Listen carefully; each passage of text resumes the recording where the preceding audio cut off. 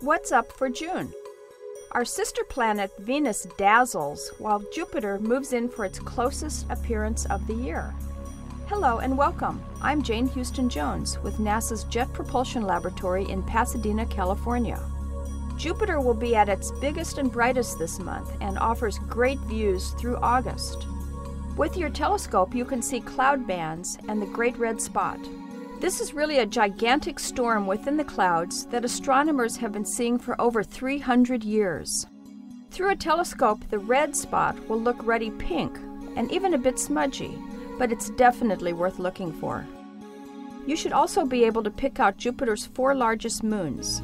Two of them, Io and Europa, pass in front of Jupiter on June 16th. You may even be able to see their tiny black circular shadows cross the planet. Many NASA spacecraft have studied Jupiter and its moons.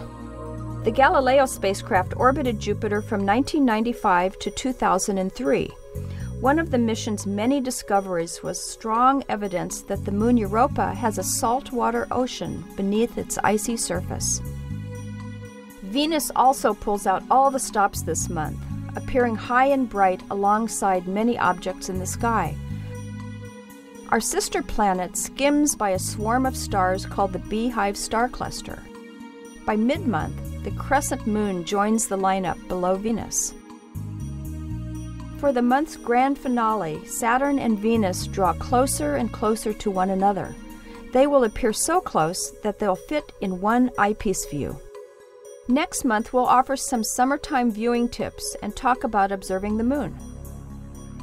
To learn more about all of NASA's missions, visit www.nasa.gov.